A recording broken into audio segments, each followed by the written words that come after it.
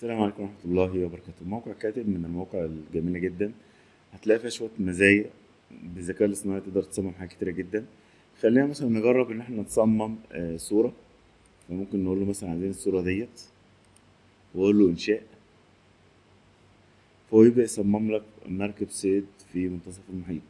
مش بياخد copy paste من من Google search أو من محركات البحث. لا هو بيصمم لك صورة. بيجيب مركب صيد. من مكان والمحيط من مكان والأمواج من مكان ويبدأ إن هو يعمل لك الصور وأنت تبدأ تشوف أفضل صورة تحتفظ بيها. وهو بيستفاد من الاختيار بتاعك بيبدأ إن هو يسجل آه الصورة دي تصميمها كويس. تمام؟ يعني دي صورة ودي صورة ودي صورة. فبيشوف أن البشر هيفضلوا أنهي صورة بحيث إن هو لما يطلب منه تصميم يعمل زيها لأن ده يعتبر زي تغذية آه، عكسية.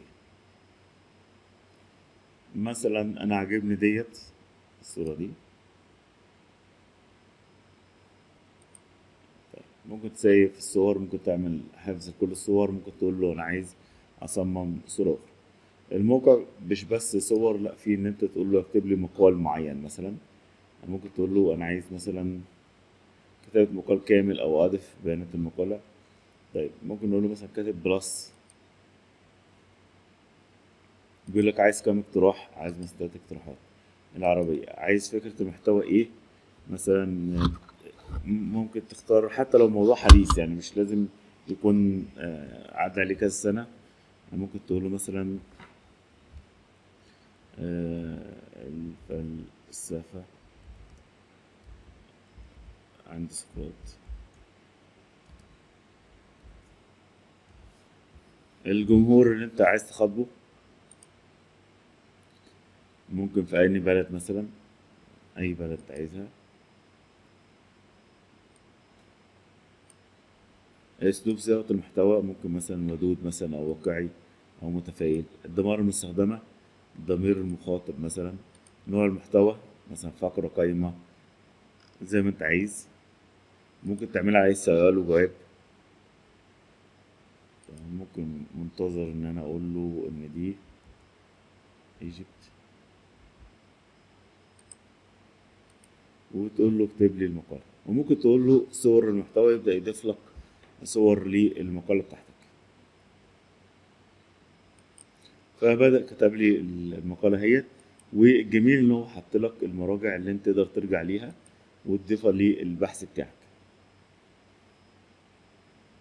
طيب من ضمن المزايا برضو في كاتب إن أنت تقدر تربط بال WordPress أو ال Blogger تقول له إضافة موقع وتضيف الموقع بتاعك سواء WordPress أو Blogger. ده ليه؟ تقدر تنشئ مقالات وتنشرها باسمك على ال Blogger أو ال WordPress. كل اللي عليك إن أنت تكتب اسم الموقع الرابط وتدي له البيانات اللي هو الإيميل وكلمة السر للموقع دوت. وهو أوتوماتيك هينشر لك في الموقع بتاعك على طول. الموقع برضو فيه إضافات أو plugins أو add-ons تقدر تضيفها للحساب بتاعك.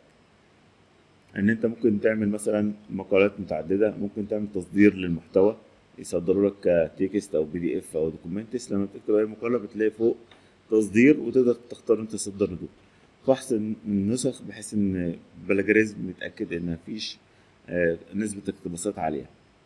وفي صور متعلقة اللي إحنا شفناها إن أنت ممكن تضيف صور للمقالة بتاعتك. تمام؟ ال add-ons دي فعلا آه، ضفتها أفادتني. فحص النسخ بحيث تتأكد إن نسبة ال plagiarism أو الاقتباسات في المقالة بتاعتك ودي مهمة لو أنت مهتم بالبحث العلمي أو حتى لو مش مهتم بالبحث العلمي. لكن جوجل ما يلاقيش إن أنت واخد copy paste من مواقع تانية.